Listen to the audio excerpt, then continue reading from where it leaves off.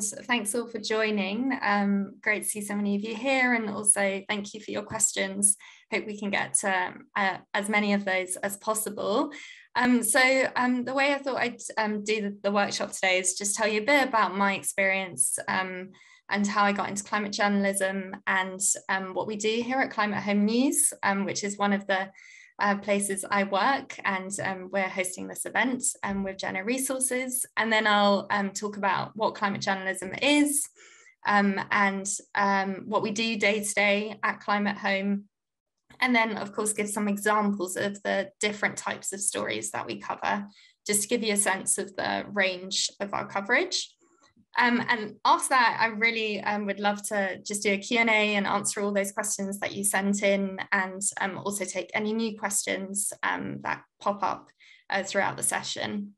So um, in terms of my experience, I, um, I didn't actually study science. I did classics at university and I did a lot of student journalism. That's really when I realized I wanted to be a journalist just from doing reporting for my student newspaper after that, I did work experience and then I did um, a one year master's in newspaper journalism in London. And my first job was actually as a breaking news reporter, so very general. Um, not, I didn't, I don't think I, I did a single climate story, but it was in my second job that my editor, who was really passionate about climate um, at Thomson Reuters Foundation, uh, which is part of Reuters um, she really encouraged me to explore this beat um, and do some writing around it. And I've really been covering climate ever since for a mix of quite mainstream uh, big news outlets, as well as um, smaller independent outlets, such as uh, Climate Home News. Um, so Climate Home News is um, a small uh, independent news outlet, and we focus on international climate diplomacy and politics, and we have a really global outlook. And what I do now is I, I freelance for them uh, two days a week. And then I also freelance for BBC Future, where I do more um, features, longer form writing. So um, I can talk a bit about the different types of um, climate journalism that I do. So in terms of um, what is climate journalism, if we could just go to the next slide.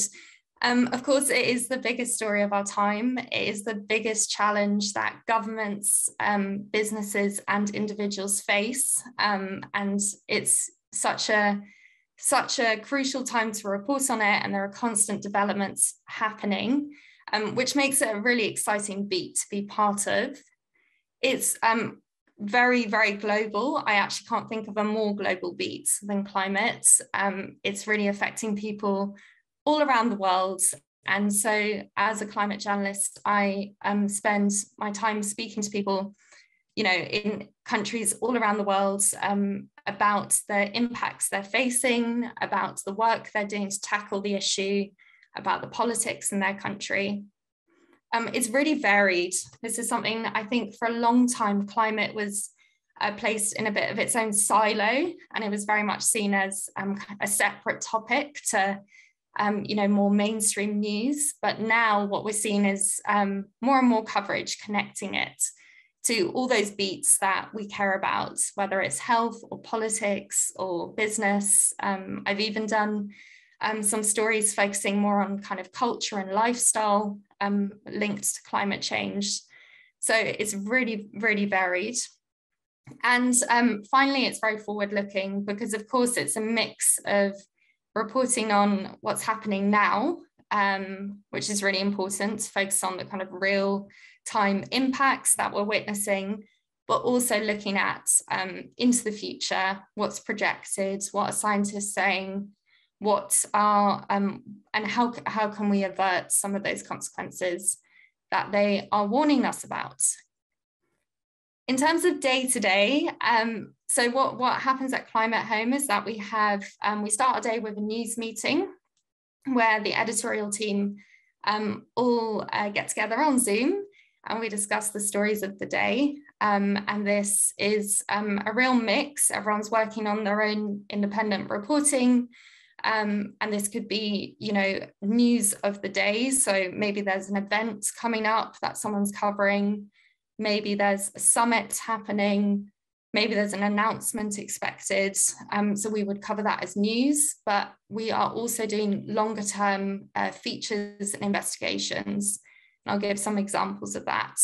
Um, so we, we talk through who's doing what, and we also uh, discuss our newsletter. So we have a daily newsletter um, that goes out at 12, and this gives um, like an exclusive kind of insights into um, the, the, climate world. So we'll usually focus on one topic.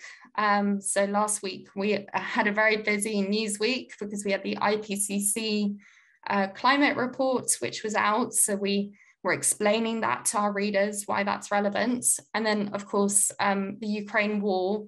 And we also uh, reported on that from a climate perspective, um, especially if you think about uh, an important angle is Europe's reliance on Russia for gas and all these big announcements um, coming from Germany about moving away from that. So we will divide up tasks and then everyone will, um, after the meeting, uh, go off and do their own reporting.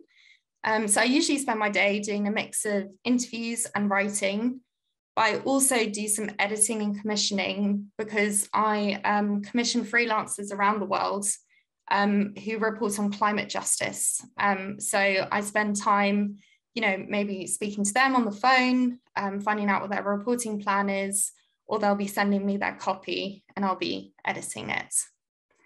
And in terms of the um, examples I wanted to share, I thought it'd be good to give a sense of the different um, different types of stories. So I want to share a news story, a feature, and an investigation. Um, so the first one um, on the next slide, um, I hope you can see, but it's the it's an article from May last year, um, which was when um, it was it was a really big court case involving Shell. Um, a judge in the Netherlands ordered Shell to cut its emissions by 45% by 2030. And um, the reason this got loads of coverage was, well, firstly, because it's Shell, you know, one of the major, major oil um, companies in the world, but it was also the first time a company has been held um, legally liable for its contribution to climate change. So to cover this story, it involved uh, tuning into the verdict and the press conference and getting reaction and commentary from that. And also speaking to campaigners about the impact um, of this ruling on Shell and its production. So, what does it mean going forward? Uh, as well as this, there was it involved getting some analysis around the legal kind of context of the story. Um, so I spoke to uh, lawyers and academics about how this one ruling could actually set a really important precedent for future lawsuits um, around the world. So that's just one example of, you know, it's a news story, so it's concise and we cover it on the day, but we try to get as much um, commentary and anal analysis to, to add a bit extra to, to that um, kind of big announcement. Then the second story is a feature um, so this is part of our climate justice reporting program, which I mentioned earlier. Um, and for this, it was all about um, India's palm oil push um, and what this means for local communities. So for a, fe a feature, there's a lot more scope to do in-depth reporting.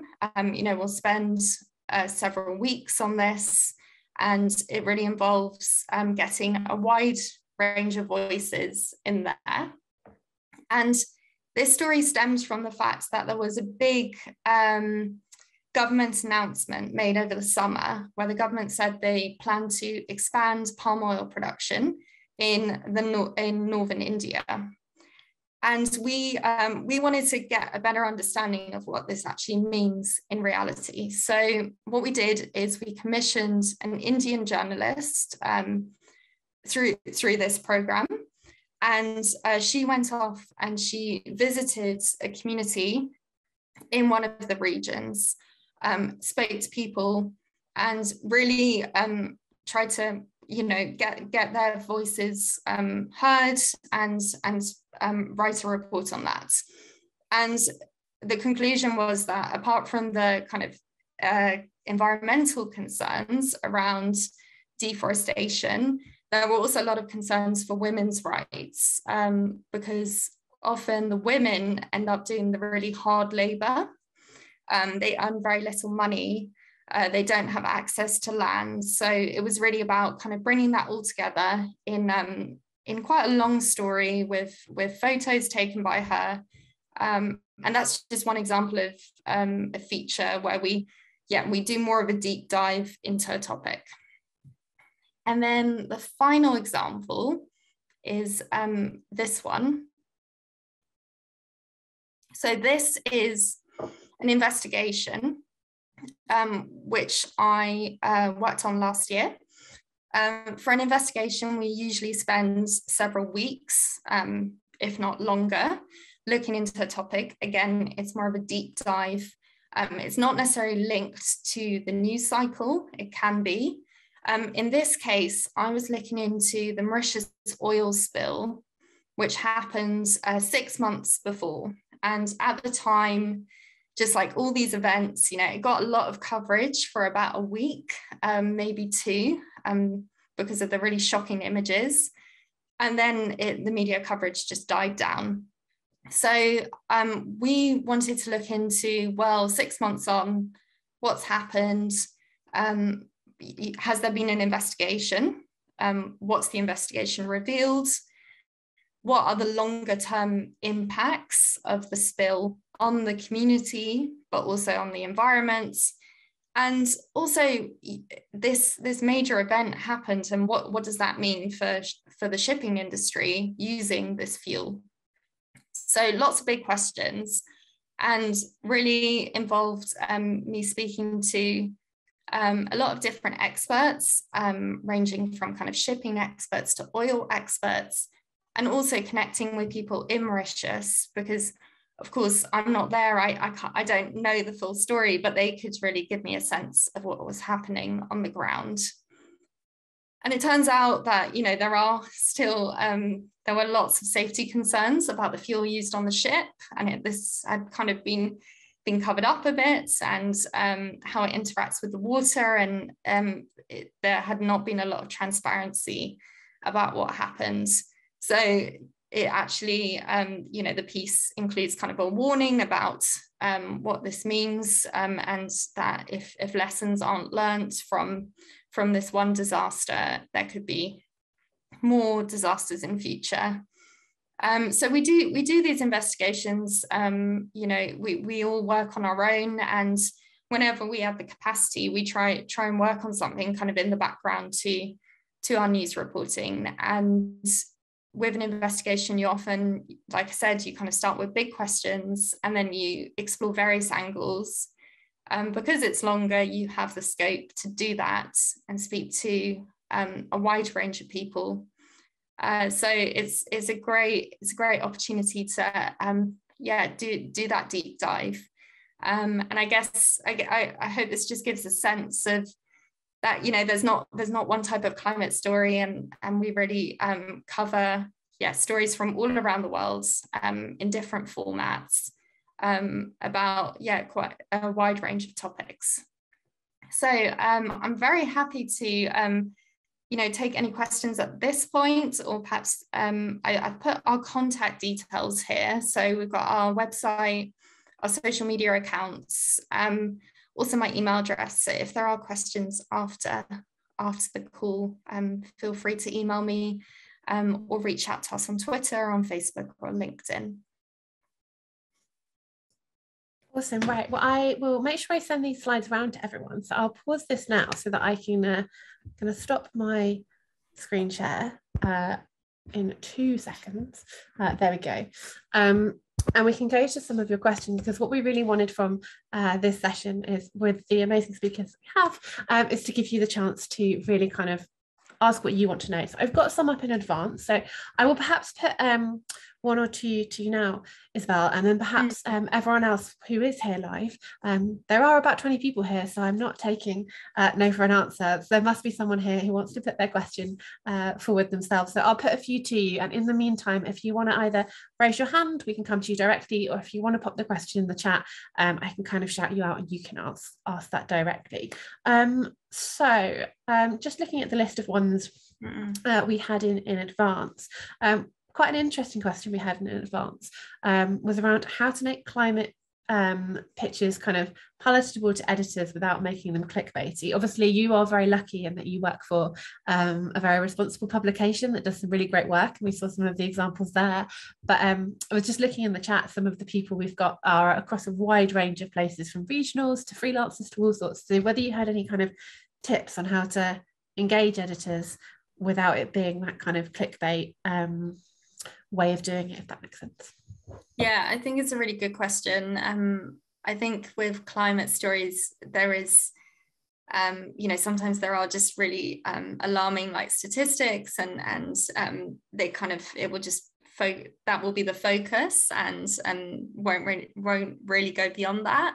Um, I guess when I get so I, I work with freelancers, and when they pitch to me, um, the two questions I always ask them is what's the new development um, to this story? So what, what's happening? Because often they'll pitch me you know kind of an ongoing issue um, and that that's fine but what's the new development and why are we reporting on it now?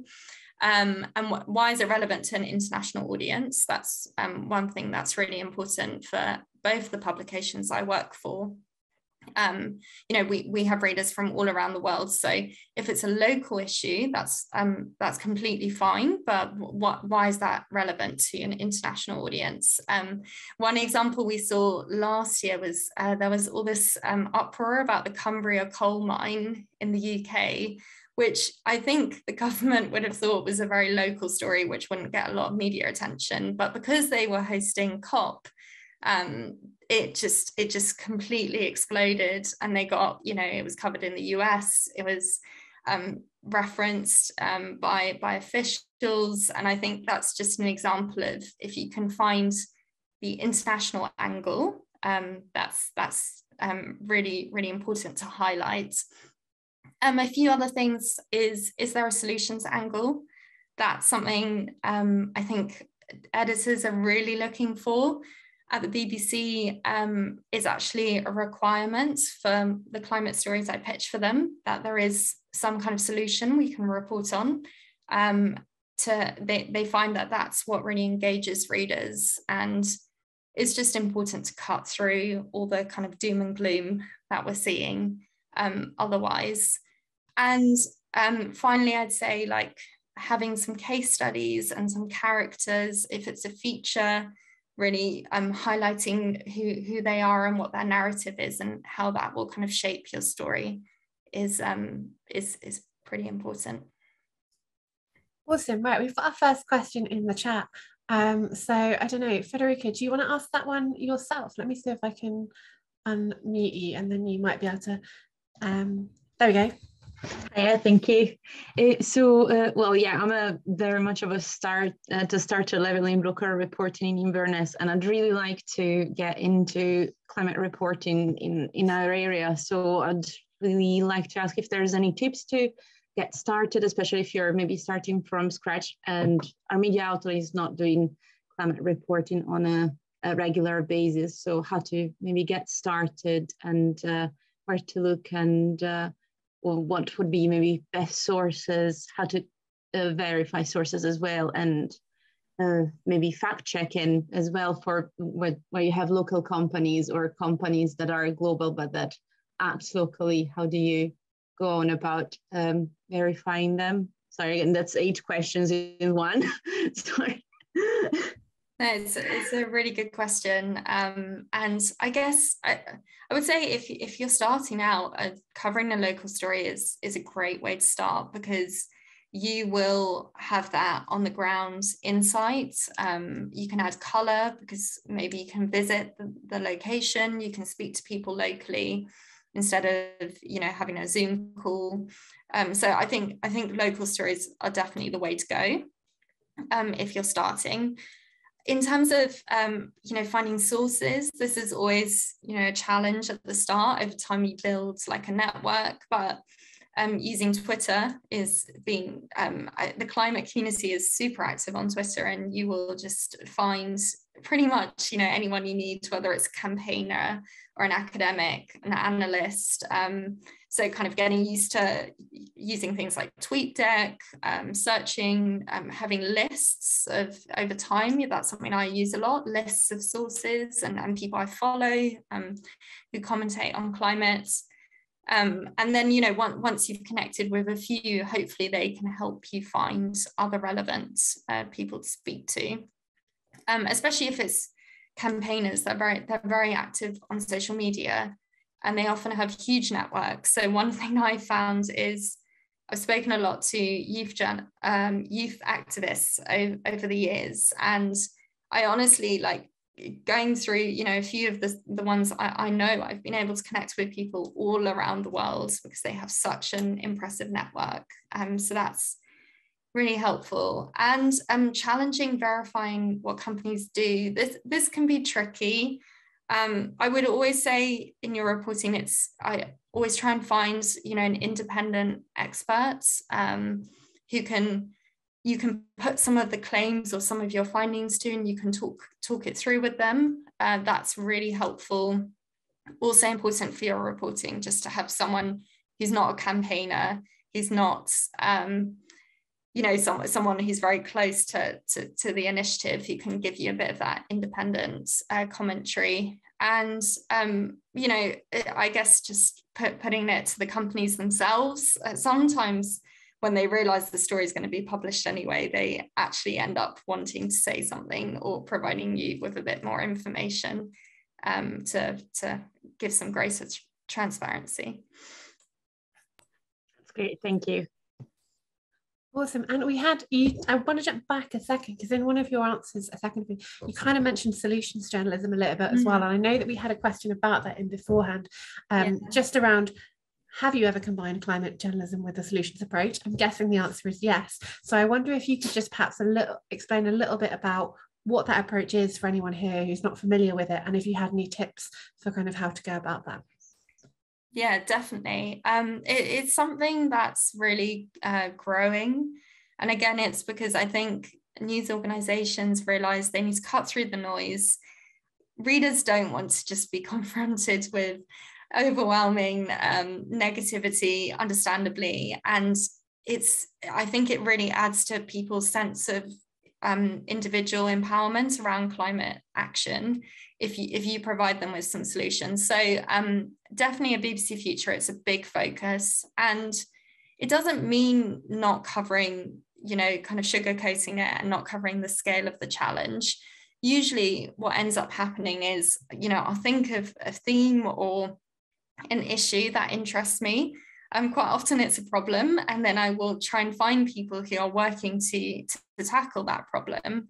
Um, and this is often on a quite a small scale. You know, we're talking about like community initiatives. Um, and once I have those, that can form um, a really good starting case study for for my story. Um, so when it when it when we talk about solutions journalism, it's not it's not about this is like a quick fix. It's kind of focusing on here are some um, initiatives that you know are making a difference, even if it's on quite a small scale in a local community. Sometimes it's on a bigger scale, and if they're scaled up, they could actually um, make a big difference. Um, so for that, you speak to experts who can um, so you, tell them about what you found and they can t- place it into context and tell you more about that.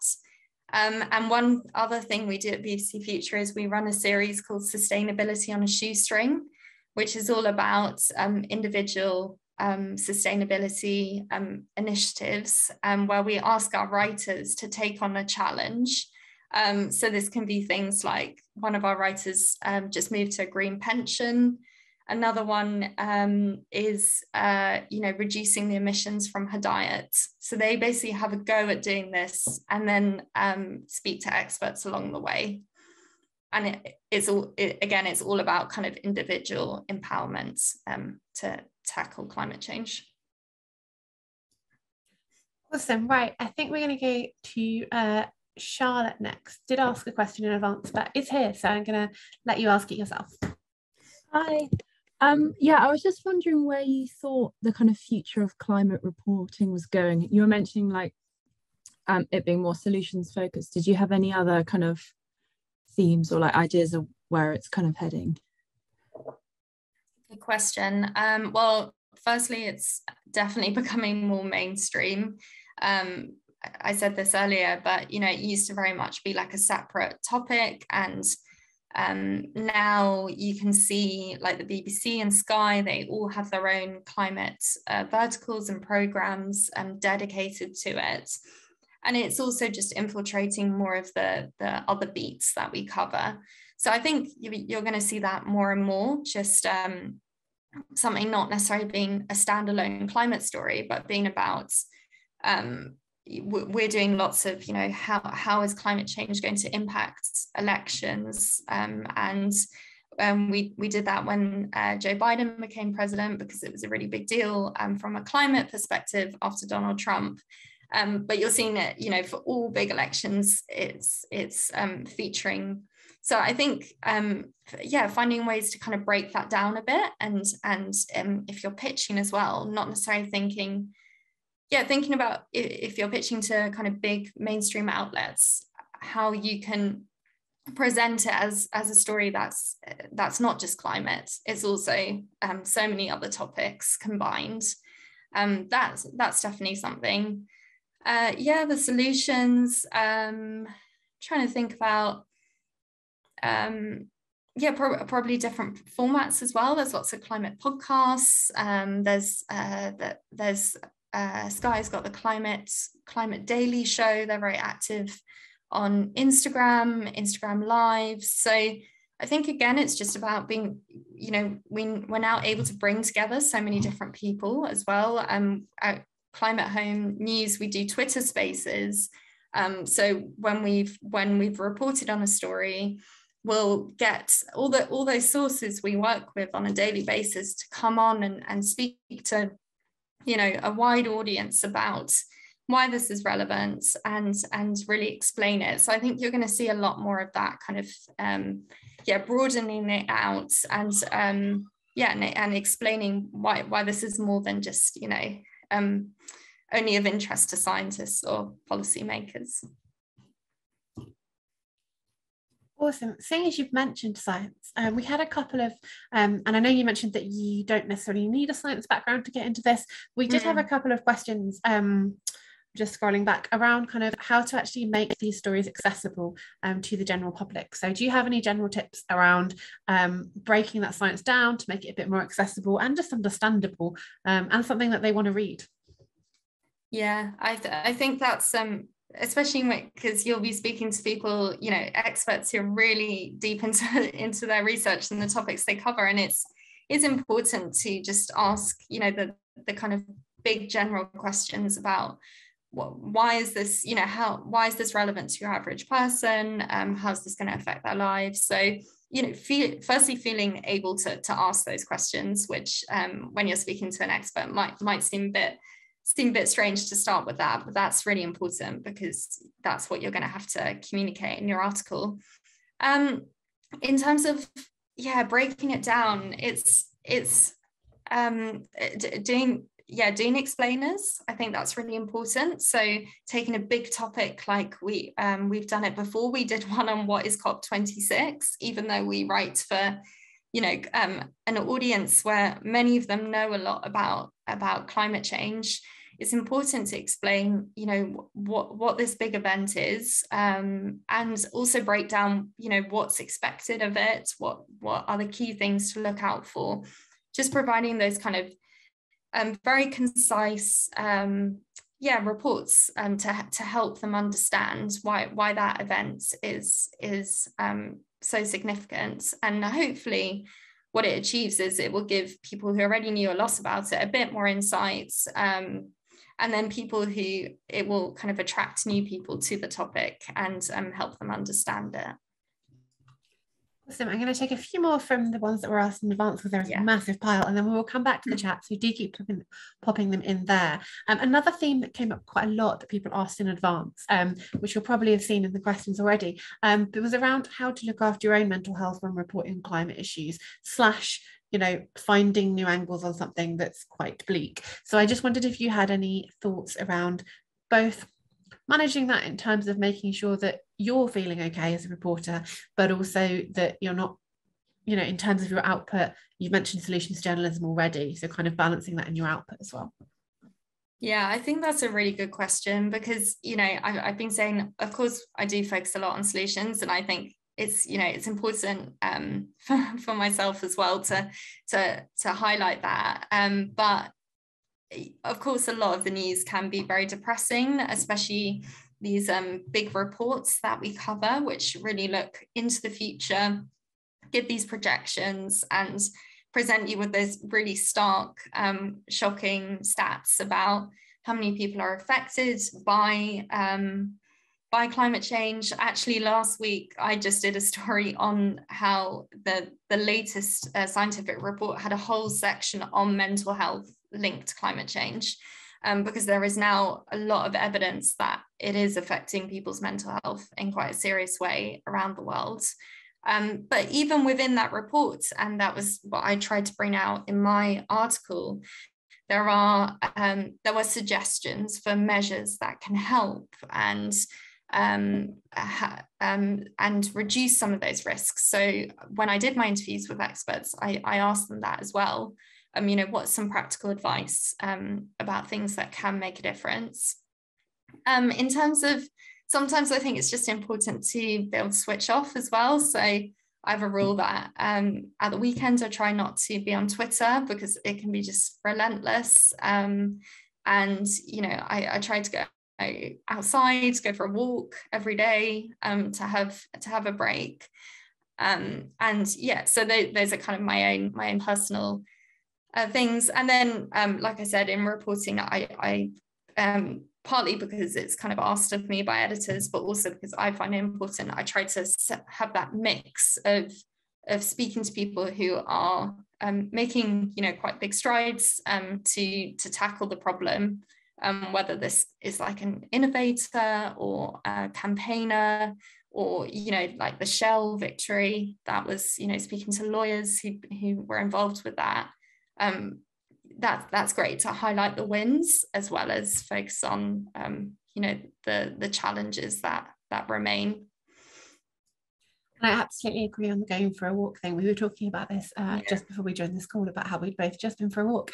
Um, Hannah, you had a question in the chat. Do you want to ask your question? Yeah, I was just wondering. I know you sp- you've spoken a little bit about um, pitches, um, but I was wondering if you could like I know everyone is different and all publications are different, but I was wondering if you had any like specific pitch tips, like what not to include and what to include, and like maybe a little bit like structurally and stuff like that. Mm. Yeah, so I think um, for pitching, uh, firstly, uh, keep it you know quite concise um, and and include a good like headline or suggested headline in your pitch to about how you'd um, draw readers in then answer those big questions about why what what's new especially if it's a feature because i think with news it's sometimes quite obvious but with a feature there's still a reason we should be covering it at this time. So what's new?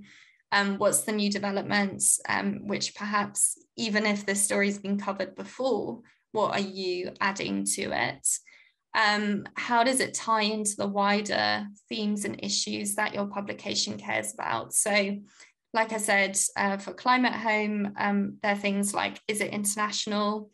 Is it um, focusing on perhaps, uh, we, we do a lot of reporting where we look at maybe some kind of underlying tension so if you know a small community is up against a big company um, and th- there's that tension, or perhaps there's a government that have promised something but actually it's not happening because there are underlying you know economic reasons they don't want to make changes. So I kind of kind of spelling that out and saying there's there's this tension and this piece is going to you know speak to people on both sides and explore that Um, and looking at, you know, case studies, um, maybe picking picking a, real. I think what's really important is um, in climate, especially climate policy, which we cover a bit, you know, climate politics. There's a lot of like um, big summits and talk about stuff, but what's the real life um, impact and what, what's actually happening? So what we try and do quite a lot is to, to find, you know, a community or uh, someone working on one of the issues that might come up endlessly at these meetings, but what, you know, actually speak to someone on the ground. Um, and so for that, I would say um, I always go to places like, um, you know, Care International, Greenpeace. They, they, they have so many people, they have offices all around the world. So what you can do is you can send them an email and say, I'm looking for, um, you know, I, I, I'm, I'm focusing on this wider, wider issue. I'm really interested to know if this is something you're working on and if there's some like an expert or a campaigner in your network I could speak to and um, they're, they're really helpful and they can direct you. Thank you.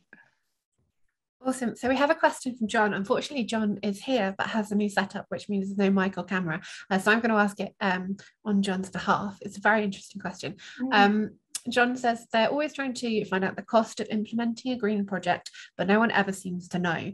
Uh, the general response always is the project is better than doing nothing. Um, do you think it's worth keeping looking for the answer um, to work out how much these projects do cost? Um, or is it a case of just focusing on the project outcomes? Yeah, I think it is really important. Um, you know, I think it's important to highlight that often there is maybe ambition or intent to make changes, but there are just barriers in the way, like costs. Um, that's you know that's the way the world works, and we um, that's important to recognize and and even you know there's there's reasons companies might not be moving as quickly as um, as you know campaigners would want them to. So it, I think it is really important to highlight. Um, but then again, focus on you know what what could make what could make that difference. What could um, bridge that gap. So uh, one example I'm thinking of is uh, we've done quite a bit of reporting on shipping, um, which is a really, really polluting industry. Like it needs to change. And it's um, the problem with shipping is once the ships are built, you know, they're they're there for 30 years. So if we don't make changes now, we're talking about um, you know, very polluting ships um, still being out there by 2050. But the major problem is that there is just the, the um, zero emissions fuels, which they're trying, are just so much more expensive. So the reality is they don't get used. Um, so when I speak to people about this, a big question is always, well, what could, you know, firstly, what is the cost difference um, to, to kind of put it into perspective? And also what could um, what could help bridge that gap? And often it's, you know, kind of big things like regulation and, and policies and um, but it's it's important to highlight and you can still report on the story and and you know highlight the need to change but um, explain that it's very difficult to do so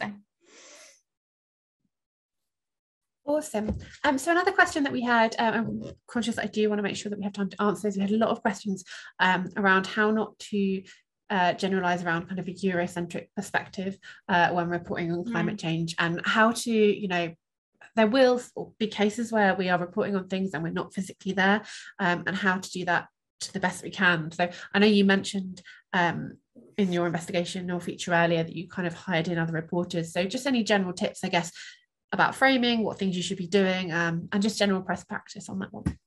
Yeah, um, so I think for features, especially if you're looking for um, you know, community experiences um, and color on the ground, you really need to try and see if you can collaborate with someone who's in the country um, who has that insight. It's, you know, there's no way that we're going to be able to um, replicate that. So we tried to do that as much as we can. And uh, BBC Future actually mainly um, work with freelancers as well. So they, they have a big network uh, for those stories.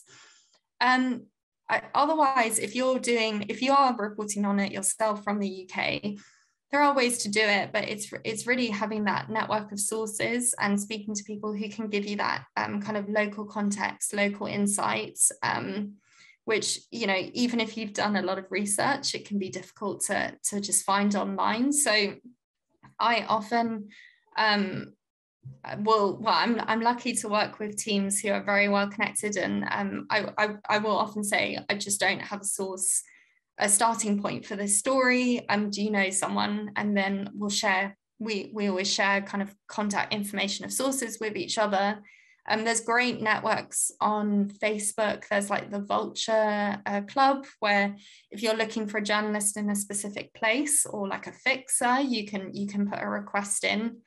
Um, and I think with sources, just being aware that sometimes, especially if you if you don't really know someone beforehand, and you're reporting on maybe something a bit more sensitive or complex, um, having like an just an introduction call. Um, I don't um, for, for some stories, I just have like a background chat um, to, to understand. They, they can help me understand the situation, um, the kind of local issues. And then that's really helpful for when I do, um, you know, more formal um, official interviews. Um, so so that's that's something. And um, I, I, think it is really important to be aware that uh, we, we, try to do this as much as we can that we shouldn't have this eurocentric approach to, to our reporting and um, to, to really work even if you're working on a story which might you know um, be happening at, at cop or like a, at a summit hosted somewhere in Europe to try and find um, commentators from, from outside the country or from outside the region who can um, give you more insights from their perspective. So we try to do that as, as much as possible. And um, yeah, people are very, very like responsive and happy to chat usually. Awesome. Sorry, and just just to stress, by the way, I keep looking this side because I'm. Uh, this is where all my questions are. I didn't want you to think I was just. No, don't worry. um, what else did we have um, in our list? Um, I think we had um, one of the questions we had in that I also thought was quite interesting um, was around whether you take any steps to offset the climate footprint of your own journalism. So, is or is this just a consideration that you sometimes think about? Yeah, I think it's a really valid question and definitely important. I don't think we can just be jetting off um, and you know to report on a story. I mean, the pandemic's made it very difficult to travel, so it's been easy to keep my carbon footprint down. Um, and, and when I have travelled in the last uh, two years, it has been by train because um, when as um, as the climate home team went up to Glasgow, we got the train.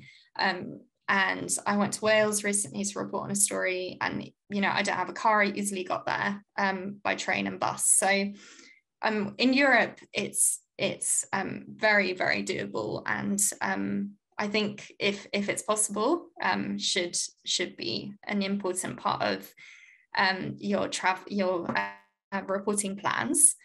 Um, BBC Future actually have um, at the bottom of all their stories, they, they note down the carbon emissions involved in producing that story. And that's quite a new thing they've started doing, uh, just to be like transparent with, um, with uh, their audience about that.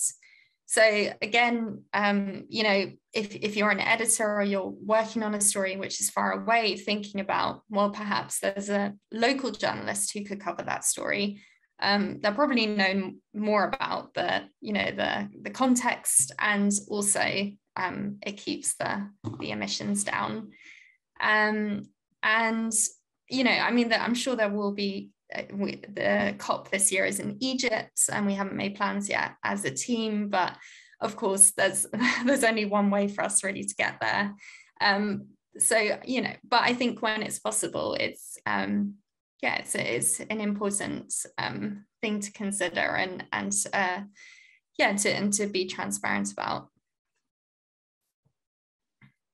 I've also got another question, if that's okay. I feel like this one's a bit left field, but um, I feel like when I was at uni, like the student journalism I was involved with didn't have like a particularly distinctive focus on like climate reporting. Like there was like the odd article here and there, but I feel like for the amount of like like we were talking about how it's way more in the mainstream now, like there wasn't that same kind of thing. So I was wondering if you had any recommendations of sort of how we can bring climate reporting a bit more into student journalism, like what sort of topics to start with exploring, like whether that's within the university or yeah, like I know you said about the um, sustainability series on a shoestring. I really like that, like that sort yeah. of thing.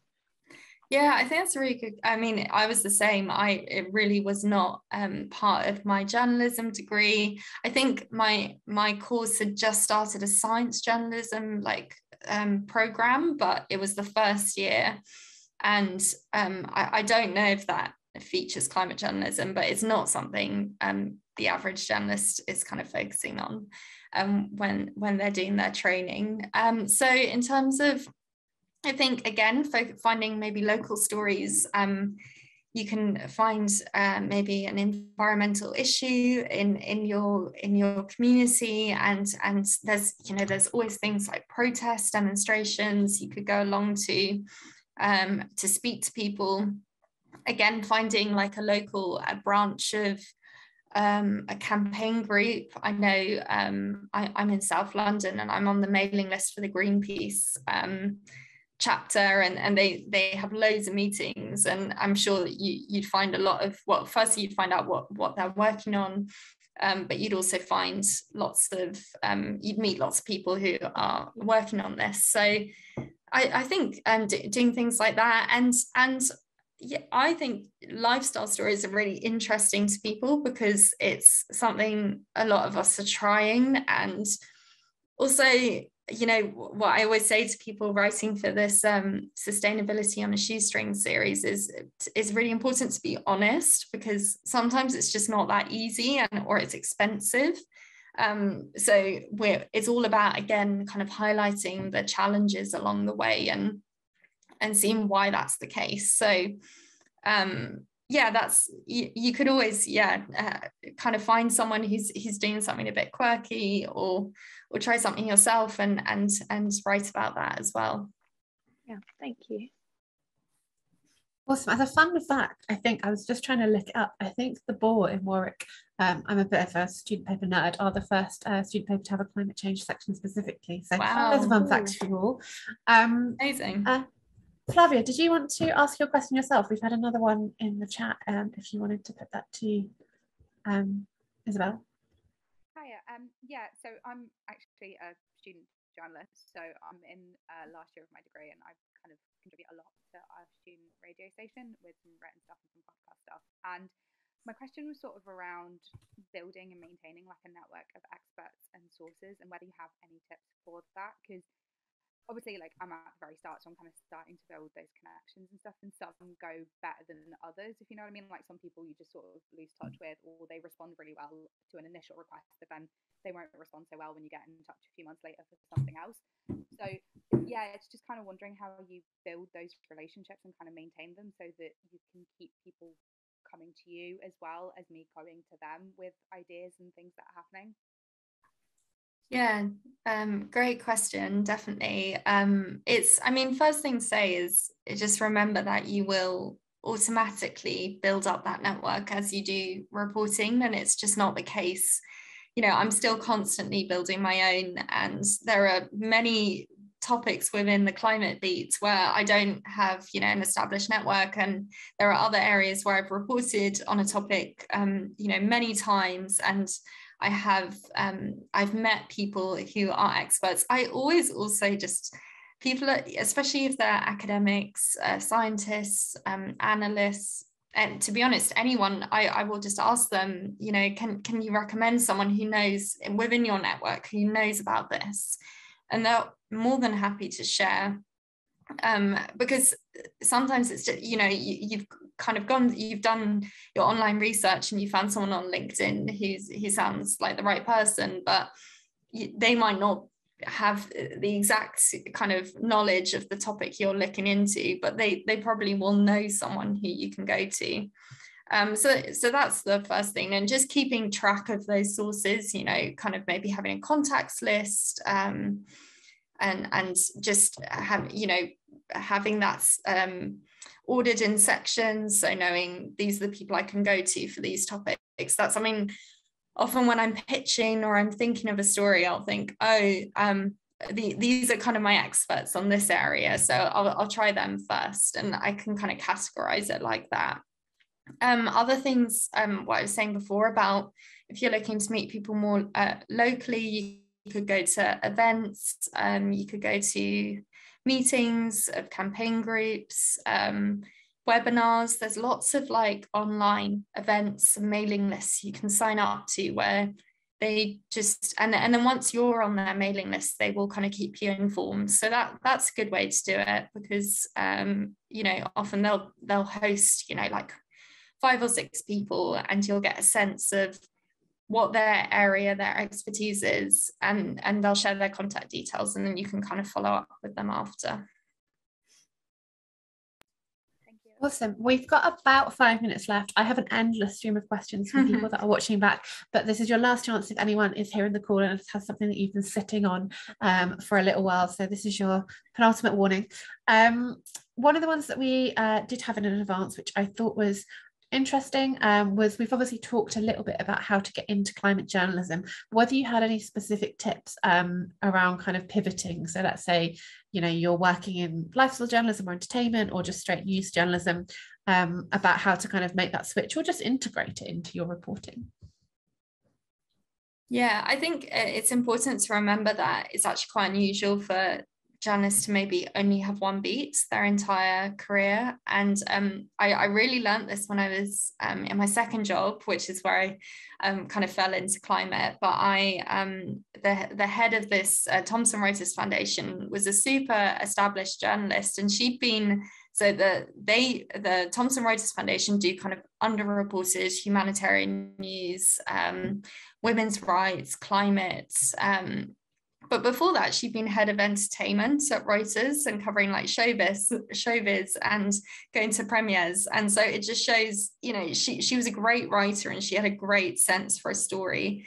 And those are all skills you can transfer um, on onto other beats. So it, it definitely isn't the case that if you're in one kind of specific section, um, you can't write about climate. And even if you're not, you know, you don't want to necessarily be a climate journalist, you just want to do a bit more sustainability reporting, climate reporting, um, there are so many links to other sections. So I guess if you're doing lifestyle journalism, think about, you know, th- those um, individual changes that people can make. Um, one thing I'm really interested in is things like fast fashion and sustainability because they're all coming out with these big campaigns. So looking into that a bit more.